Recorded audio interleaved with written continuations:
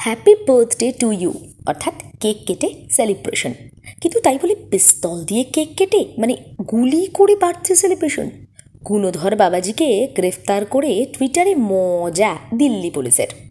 জমজমাট birthday celebration ভিডিওতে বেশ হুল্লোড় দেখা যাচ্ছে। কিন্তু যাকে ঘিরে এত উচ্ছ্বাস আর উন্মাদনা, তাকে দেখা যায় পিস্তল উঁচিয়ে কেকের দিকে আসছেন।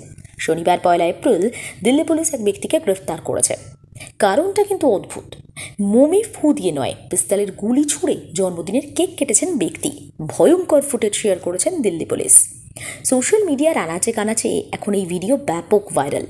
টুইটার পোস্টে ভিডিওটি শেয়ার করার সঙ্গে সঙ্গেই দিল্লি পুলিশ গোটা ঘটনার বর্ণনা দিয়েছেন। তবে ভিডিওতে অভিযুক্তের মুখটি ব্লার করা আছে।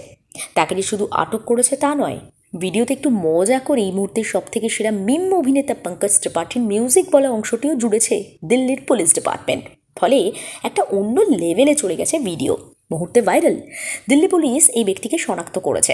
অভিযুক্তের বাড়ি থেকে পুলিশ তিনশো পনেরো বোর্ডের দেশি পিস্তল, দু রাউন্ড গুলি উদ্ধার করেছে। অভিযুক্তের বিরুদ্ধে অস্ত্র আইনের পঁচিশ নম্বর ধারায় মামলাও হয়েছে। ভিডিওতে দেখা গেল বার্থডে সেলিব্রেশনে জমজমাট পার্টিতে পিস্তল উঁচিয়ে কেকের দিকে এগিয়ে এলেন এক ব্যক্তি।